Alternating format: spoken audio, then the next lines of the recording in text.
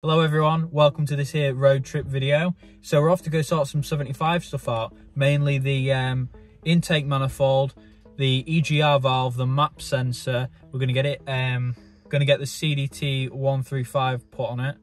We're also gonna get a new um, BCU to allow me to pop the boot with my key and control all the door windows and everything with my key, which is very, very fancy. I'm also gonna get some other random stuff like some new headrests. But anyway, if you're not subscribed, please consider doing so. It really does help me out. And I'll see you on the trip. We're also going to, you're also going to have a bit of a preview of some of the videos that are coming up. So I'll see you on the way.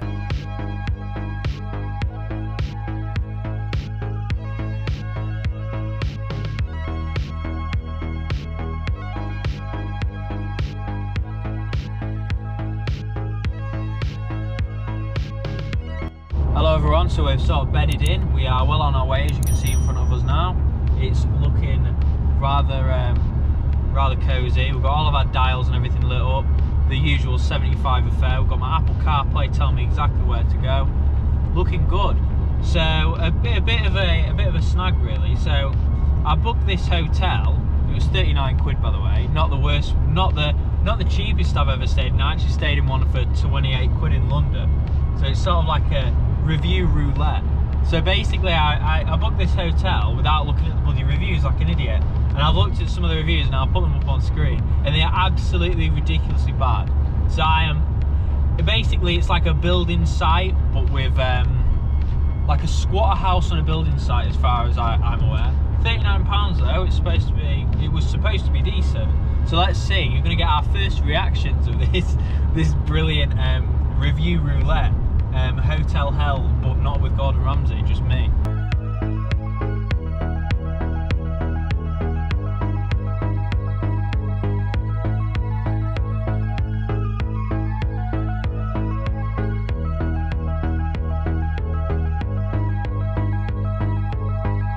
I ended up taking a wrong turn and then we came across this weird house that had been um, smashed through with an excavator and then there was another excavator literally picking up a caravan. Thought that was quite interesting to include this.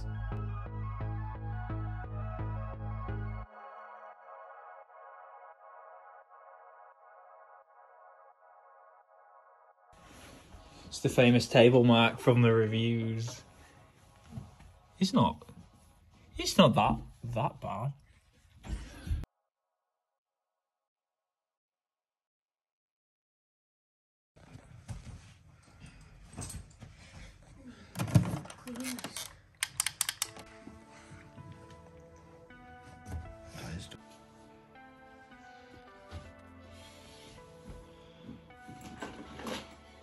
Nice.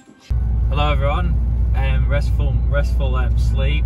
So we had we had the full Monty last night. We had people having sex in the room next to us. We had a dog barking at two o'clock in the morning. We had people screaming outside and crying outside the the bloody room um, and outside. And then we had um, we had some other stuff. I'm no by no means like a pretty princess, by the way. I've stayed in some right places, and I understand that obviously 39 quid. What do you expect? But yeah, that was something else. So as you can see by the way I look, I look absolutely shattered. But today I'm very excited because we are gonna go get our new um, headrests, new BCU fitted.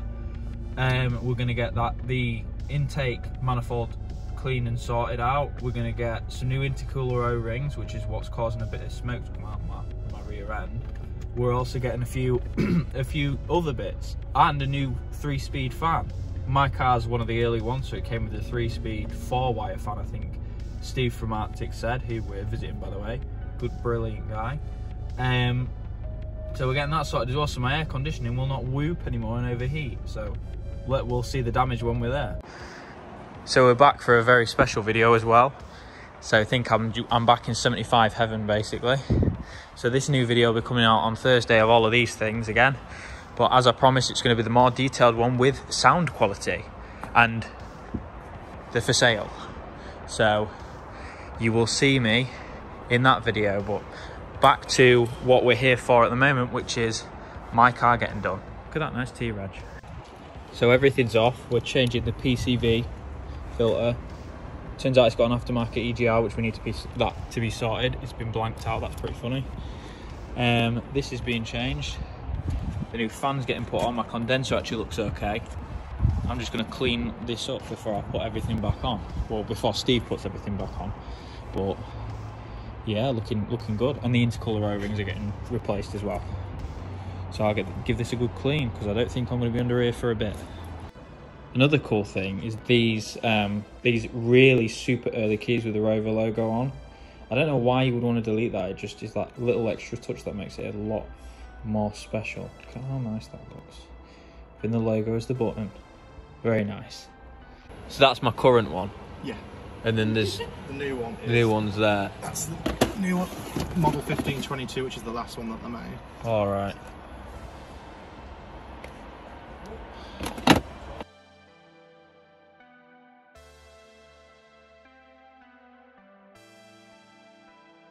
Bit of a preview, boys. Look at that. That looks amazing. What a set of cars. This will never happen again, probably. Look at them all. There's still more to go. Friggin' hell. And she's looking good as well. What a great day.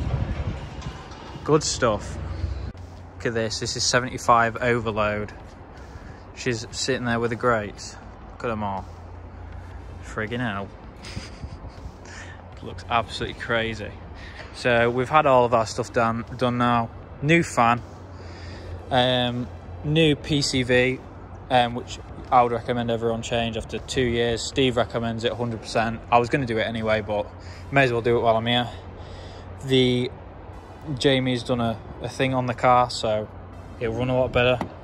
Um, we've got the BCU upgrade, so I can pop my boot with my key.